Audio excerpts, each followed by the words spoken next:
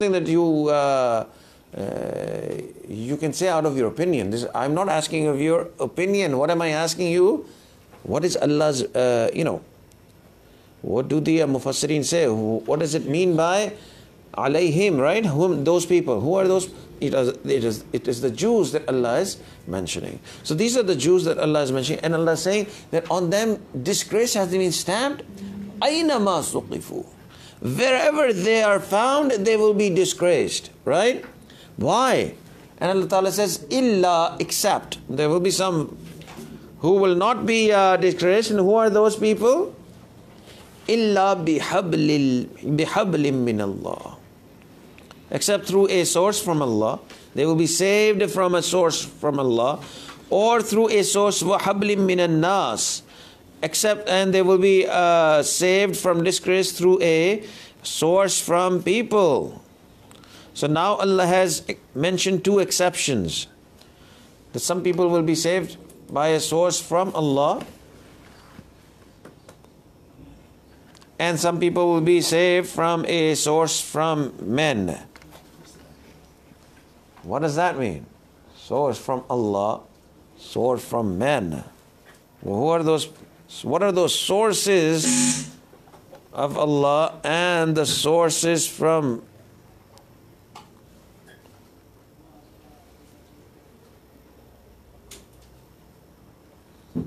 What are these two things? Now, at least to understand this ayah, we have to understand what is that source from Allah. Illa bihablim min Allah wa hablim min nas. That these Jews, all these Jews, they will be they are disgraced wherever they are found except that from except through a source from Allah and except through a source from people. So what is source from Allah? What is that source from Allah that is going to save them? Gee, you answer only if you know what it, the answer is, not a guess, right? You don't guess the Quran. Again, this is why is this important? This is if you have a management class or a marketing class, then you can actually give an answer based on your thought that this might be a very good answer. When you talk about tafsir, then tafsir is not something that you give your opinions in. The Prophet ﷺ has said that whoever gives his opinion in tafsir, whoever gives an answer of tafsir, an explanation of the Quran through his own opinion is going to go into the hellfire. Why? Because we have to ha- understand the Quran the way Quran has been explained by, the Prophet ﷺ. That is why we have to go through the tafsir, how the Mufassirin have put into it. So, the, however way the Mufassirins mention, this is what we have to, uh, this is what we have to, you know, just, uh, this is the answer that, that is there. Well, why do we take the uh, opinions of the Mufassirin? That is also a question that if Allah says that don't take the opinion of anyone, why do we take the opinion of the Mufassirin then? And the answer is that the Mufassirin are also not mentioning their own tafsir of the Quran or their own opinion. They are now referring back to what the Prophet ﷺ has explained or the Sahaba have explained. And this is the only way we can go about learning the explanation of the Quran. So then when you ask a question, you cannot, you don't have an answer to every question unless you have studied it, right? So, ये नहीं हो सकता है कि आप आके कहेंगे बस ठीक है जी आओ मैं जवाब देता हूँ मेरे पास बड़े जवाब हैं ना ना ना if you have studied if you if you are not here in last class you don't know the answer you know, because tafsir is, tafsir is. There's only one answer, and whatever answer is there in the among the uh, uh there could be a difference of opinion in the mufassirin that some people say that this is the tafsir, and some people say this is the tafsir. And this opinion is not based on their own opinions. It is based on the different types of hadith that they have gone through. So some took one opinion and some took the other opinion, but those two opinions are also the opinion of the Prophet. ﷺ. So tafsir, the explanation of the Quran, is only that explanation that the Prophet ﷺ has given. There is no other explanation. So you cannot give your opinion that I think this is what it means. And I think this is what it and a lot of people have gone astray because of this. Right? Allah Ta'ala says in the Quran, Ya ayyuhallazina amnu la taqrabus salat. That oh you have oh you who have believed, don't come near the prayers. Now If somebody just takes this part, he says, namaz is not worth it," right? Allah Ta'ala says, don't come near salat. But if you look at the whole statement, Ya ayyuhallazina amanu la taqrabu salat wa antum sukara. Don't come near the prayers in this situation where you're intoxicated, right? Where in your where you are in, in a state of intoxication. So, again, some people also, when they give their opinion, they say, oh, that means alcohol is not bad in Islam. Only when you are in a state of prayers, that's when Allah subhanahu wa ta'ala says that you're not supposed to drink. Otherwise, see, this is what the Quran says. And why do we take why why we will say this? Because we are just thinking of your of our own opinion. We're just thinking out of our own thoughts, right? And this is what is forbidden. The tafsir of the Quran is not something that we can give our opinion about. It is something that is there, it is fixed. And the tafsir of the Quran is the tafsir that the Prophet ﷺ has given. Or his companions have given, because they will also give the same tafsir that the Prophet ﷺ has given. That is why the only people who are uh, who are qualified to give the tafsir are those uh, is the Prophet ﷺ and his companions. Now, sometimes we mention these mufassirin. Sometimes I also mention that Hazrat Mufti Muhammad Taqi Usmani Damat Barakatum says this. Well, I say this because it is mentioned in his book of tafsir, and his book of tafsir is based on the hadith and the sayings of the Messenger wasallam. Right? So this is how it is. So if I ask an answer, the answer should be from the tafsir. Right? If I ask a question, it cannot be your own opinion. Yes, there could be an explanation based on the tafsir which is present in the hadith. For example, when I sit down here, I give you a tafsir, then I also give you some stories and some other sayings and all these things just to expand on the topic. But the explanation of that part of the Quran is still the only explanation that the Messenger sallallahu alaihi wasallam has has given. Okay, now that is why Zuribat alayhim zillah now the Jews are not mentioned here. Right? Disgrace has been stamped on them. Where did we come up with Jews? Right? Anybody can say, anybody who's taking his own opinions, disgrace has been stamped on them. Them is the people of, you know, Bulgaria. Or whatever. You know, we can come up with our own opinions. And you know, actually these are the Chinese. Zuribat alayhim zillah because they have coronavirus going on. Right? So this is, you know, you can come up with your own opinions.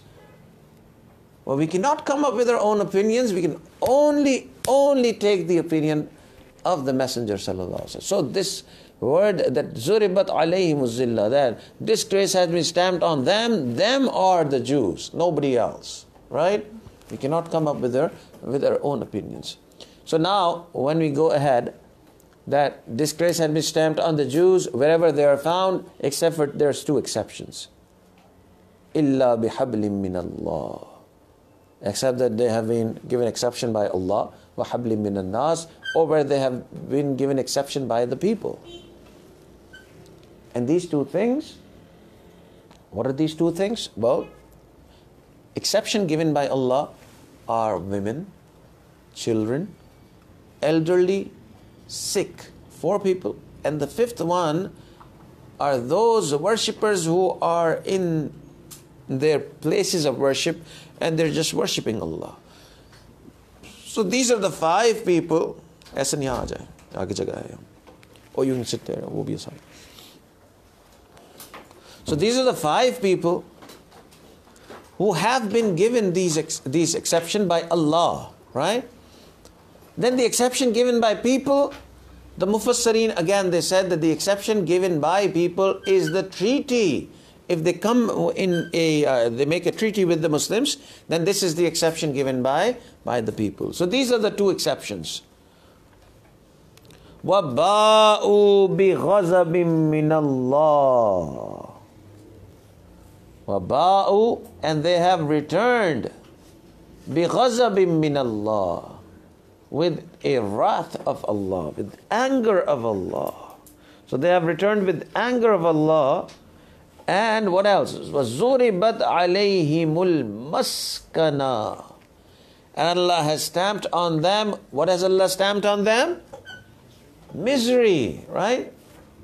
So Allah has stamped on them misery.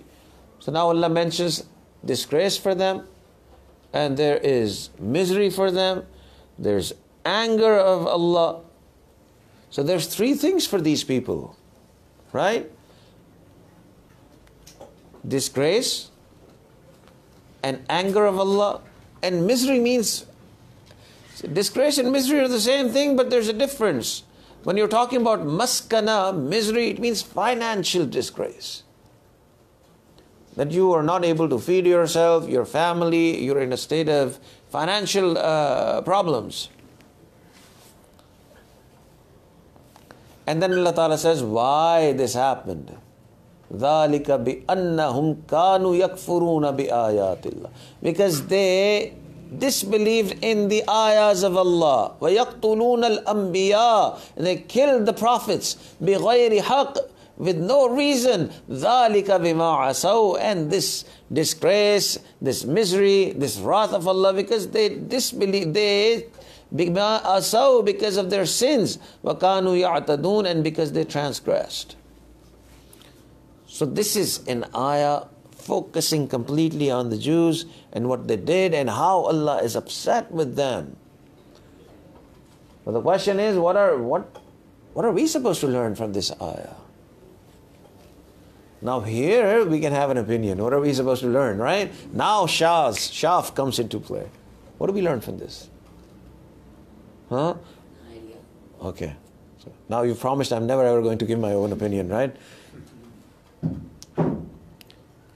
So what are we supposed to learn from them? That those people who sin and who transgress the bounds that Allah has set for us, then even if you are not a Jew, this is a sunnat of Allah that when you transgress, when you disobey, then Allah subhanahu wa ta'ala gives you these three things disgrace and financial problems and the anger of Allah. So this is what we learned from this ayah for ourselves. So now this was the this was the last ayah that we did, right? Every ayah that we do, actually I still want to go back to the last ayah because now we're almost done. So I just I don't think I'm going to go to the next ayah today. But every ayah that we do, all of us sitting here, we should be very clear as to what our maqsad is, what our purpose is. When we want to learn Arabic in this class, we also want to learn Quran in this class. So all of you should be writing down the translation and all of you should be focusing on those words, especially those words that are often repeated words in the Quran. And if you focus on these words, then the translation will be easier for you.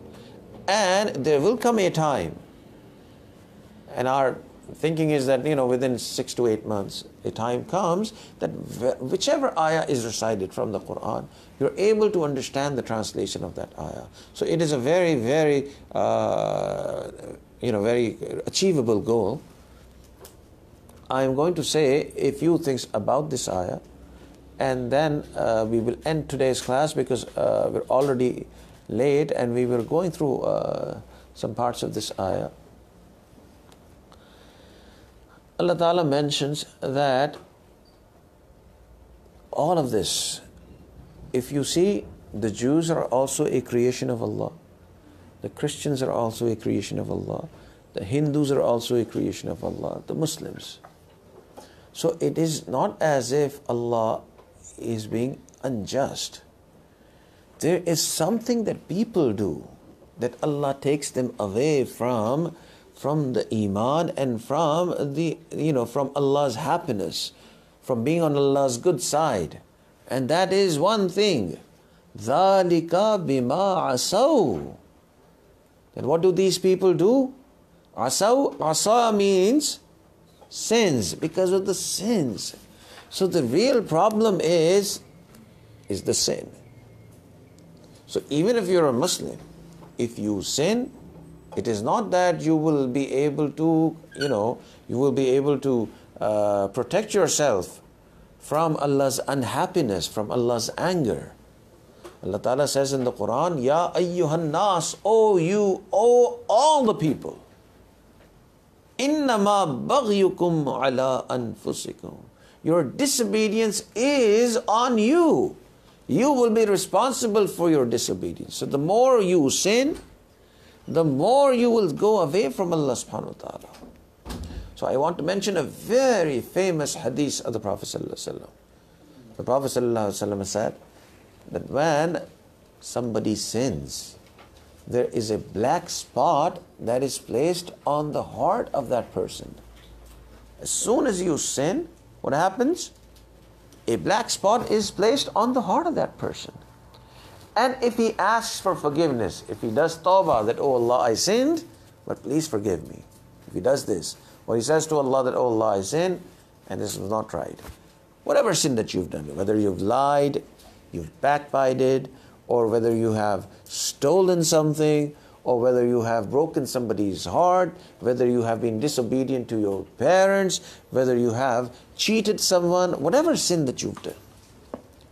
As soon as you commit the sin, the Prophet ﷺ said that a black spot comes over your heart. And as soon as you do tawbah, the black spot is removed. But if you don't do tawbah, if you're not very uh, upset about your sin, and you keep on doing sins over and over again, each sin is going to get you a black spot on your heart and there will be a time when that whole heart will become completely black. And then that person enters into the fold of, you know, he's tending towards, you know, uh, he's tending away from Islam basically. Because no, uh, none of the advice works on him because the heart is black. So you've seen some people who are not ready to listen to any advice that you give. Why? Because they've sinned so much that the heart has completely become in, has completely become black. So the more sins that you do, the more you tend to go towards Allah. And there comes a time when you sin so much that you even enter into the fold which is outside of Islam. And then sometimes there are non-Muslims who are doing so many good deeds, their heart becomes so pure that they tend to enter into Islam. So that is why it is the, the most important thing in our lives is to stay away from sins. The more you stay away from sins, the more closer you are to Allah. The more you stay close to sins, the more farther you are from Allah. So now I will mention one last thing and then we will uh, finish off our class today.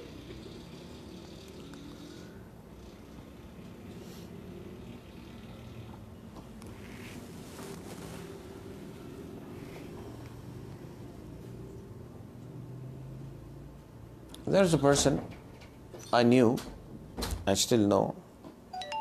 He said that I was a person, I was not concerned about sinning. I would sin, whatever sin would come my way, I will just commit that sin. And he was a Muslim, born to Muslim parents, but the amount of sins he had done, he had been so away from Islam that he did not even know that whether I am a Muslim or not. Because when you sin, what happens is that your tendency towards worship just goes away. The less you're sinning, it is easier to worship Allah. The more you sin, because the heart becomes dark, it is very hard to actually uh, worship Allah. So, this young man was sinning a lot his father was also a person that I knew. His father was a very pious man. He was also always very concerned about his son. And the the uh, the irony of of the of the thing was that this this boy and his father they used to live in Makkatul Mukarramah in this blessed city. But even in this blessed city of Makkah, he would you know he would sin. So then the father one day told me that I am very upset about my son. And I said, What happened? It was Asr time on a Friday. And he said, Today I tried to wake my son up for Jummah prayers, and he would not wake up for Jummah prayers. And we were supposed to pray in Makkah, we were supposed to pray Jummah prayers in the Haram.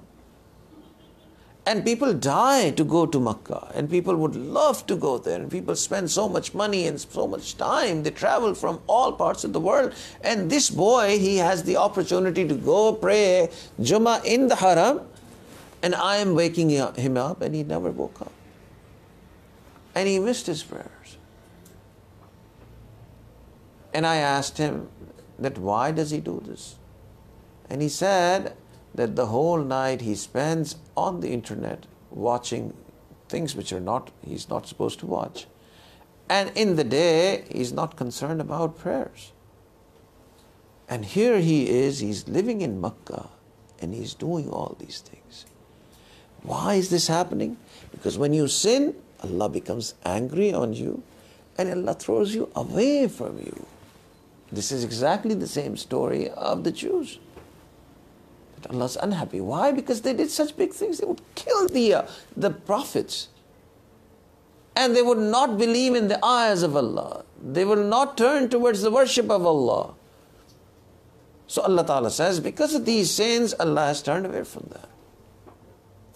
So here you have a person sitting in Makkah, and his father is a very pious man, and his father made him a hafiz of the Quran but he doesn't get the opportunity to go in the haram and pray Jummah prayers. And then you turn towards the United States, and there was a Jewish woman, and she accepted Islam. And when she accepted Islam, Allah had accepted her so much that every time she would stand up for prayers, for all five times prayers, each of his prayers would take him one hour. This is how much time she would spend worshipping Allah. And she was a sign and she was a, a source of inspiration for other Muslims as well. So for Allah, it does not mean where you were born and who your parents are. If you are sinning, you're going to go down. And you, if you stop sinning, even if you're a Jewish person living somewhere in the United States, Allah is going to give you guidance. And you will start enjoying worshipping Allah. So this is what happened here. That these Jewish people, these Jews, they would sin. Allah Ta'ala says there's three things for them. Disgrace, anger of Allah, and maskana. Maskana means financial disgrace. And this is because they would kill the prophets. They would not believe in the ayahs of Allah and because they would sin and they would transgress the bounds that Allah has given them. So, this is a, an explanation of the last ayah and a translation of the last ayah. What I would want from all of you is you should write down the translation of each and every ayah that we do. I will do the translation one more time. The people who are new in this class, they should also write down the translation. أعوذ بالله من الشيطان الرجيم بسم الله الرحمن الرحيم ضربت عليهم الذلة and uh, disgrace had been stamped on them أينما ثقفوا wherever they are found إلا بحبل من الله except through a source from Allah وحبل من الناس or through a source from people وباءوا بغضب من الله and they have returned with wrath with anger from Allah وَزُرِبَتْ عَلَيْهِمُ الْمَسْكَنَةِ and misery has been stamped on them. ذَلِكَ بِأَنَّهُمْ كَانُوا يَكْفُرُونَ And this is because they have disbelieved بِآيَاتِ اللَّهِ in the ayahs of Allah. وَيَقْتُلُونَ الْأَنْبِيَاءَ And they have killed the prophets بِغَيْرِ حَقٍّ Without any reason, without any truth. Right? ذَلِكَ بِمَا عَسَوْا And this is all because they have sinned وَكَانُوا يَعْتَدُونَ And they have transgressed the bounds that Allah has set for them. So we will stop here. May Allah subhanahu wa ta'ala give us the tawfiq to stay away from sins. And the person who stays away from sins, Allah ta'ala gives him the tawfiq to worship him. وآخر دعوانا أن الحمد لله رب العالمين नमाज की तैयारी कर लें नमाज ऊपर पढ़ेंगे ऊपर पढ़ेंगे